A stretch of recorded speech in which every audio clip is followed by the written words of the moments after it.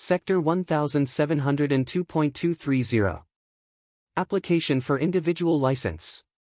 A. An application for an individual license must be verified and include 1. The applicant's full name, residence address, residence telephone number, date and place of birth, and social security number. 2. A statement that lists each name used by the applicant, other than the name by which the applicant is known at the time of application, and an explanation stating each place where each name was used, the date of each use, and a full explanation of the reasons the name was used, or b. states that the applicant has never used a name other than the name by which the applicant is known at the time of application.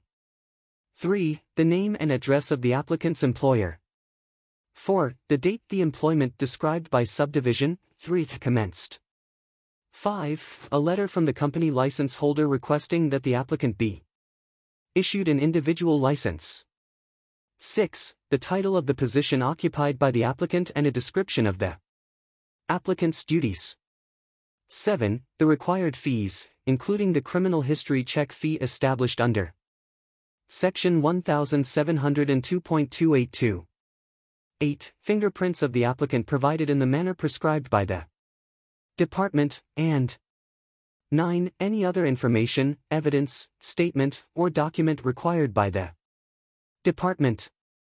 B. The employer of the applicant shall make a reasonable attempt to verify the information required under subsection F 1 before the earlier of 1. The date the application is submitted, or 2. The date the applicant begins to perform the duties of employment that require an individual license.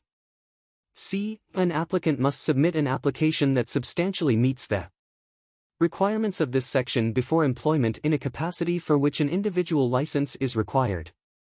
D. For purposes of subsection A, an application is not considered to be verified until the department has received electronic verification from the department or the Federal Bureau of Investigation, as applicable, that the applicant has submitted the applicant's fingerprints. E. The department shall make information available to the public concerning whether an applicant for an individual license has met the requirements under this chapter for performing a service for which the individual license is required.